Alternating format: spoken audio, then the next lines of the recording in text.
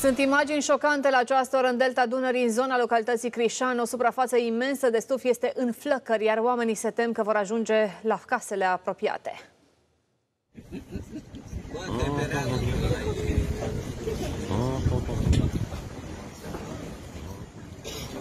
Sunt imagini așadar surprinse în urmă cu scurtă vreme. Sunt uh, flăcări imense la această oră. Pompierii sunt în drum spre locul intervenției. Așteptăm din moment în moment să vedem câte autospeciale de pompieri vor ajunge acolo și în cât timp vor reuși să stingă flăcările, astfel încât ele să nu constituie un pericol pentru casele care, așa cum se vede în aceste imagini, sunt extrem de apropiate. Vom reveni cu informații și imagini în scurtă vreme în jurnal.